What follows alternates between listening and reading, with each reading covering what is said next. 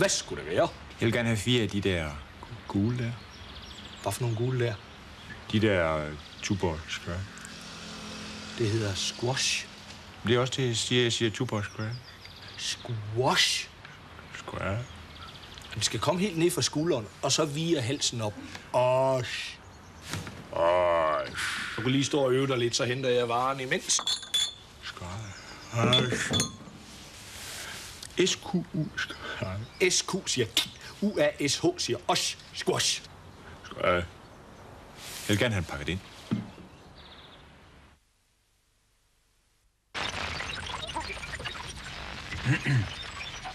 Jeg har mødt en damefrisør.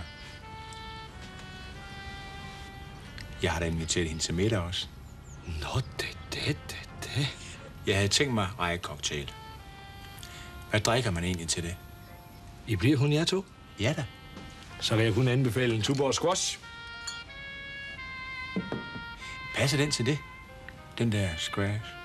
Den er alle tiers til fisk. Og du ved nok, hvad den der betyder, ikke? Ja. Så er den vel også god nok til jer. Du, øh, du har vel ikke en pæn opluk, jeg kan låne? Ved du, hvad mit endetal det er? 38, så kan jeg jo ikke komme igennem til de ringer, vi spiller. Det kan vi da snilt klare. Ja, hallo, vi har en ny lytter igen. Hallo, det er Finn. Goddag, Finn. Ved du hvad, vi har lidt travlt, du, så vi går lige direkte til klokken. 10.23 dund. Åh, oh, jeg vidste det. Det er en af de svære, så. Ah, hør nu her. Hvad er navnet på Danmarks bedste appelsinvand? Øh, Har du nogen til at hjælpe dig, Finn?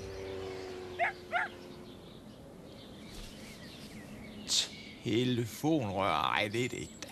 Ah, te, det var godt nok. Øh, te ligesom Tuborg. Ja, det bliver et skud. Tuborg Square. Ja. Det var forkert. Det rigtige svar er Tuborg squash. Det sagde jeg også. Squash. Jeg er jo begyndt at gå til engelsk. Nu vil jeg lære at sige det. Øh, jeg har fået indspillet det på bånd. Den er der nu. Skynd dig spørg. Øh, Hvad skulle det være? I would like one. Square. Så gammel. Hello. I would like one. Square. Okay, okay. Hello. I would like one. Square. Spis nu lige brød til, hva'? Hello. I will lie one. Square. Hello and good morning. I will lie one. Square. Are you finished? Nej, I'm Danish. Hello. I will lie one. Square.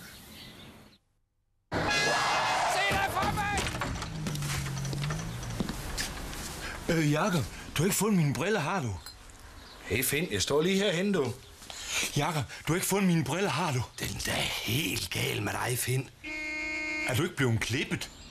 Du trænger dig vist til noget hjælp. Ja, ja, ja, ja. Vær så artig. Nøj, et par squash-briller. Det ser faktisk ikke så skilløjt ud. Hvordan virker de? Ej, jeg ved ikke, øh, de er altså lige stærk nok. Jamen, det er fordi, jeg tager højde for, at du har jo en bygningsfejl. Bygningsfejl. Du skal da nødt snakke med den næste, du render rundt med.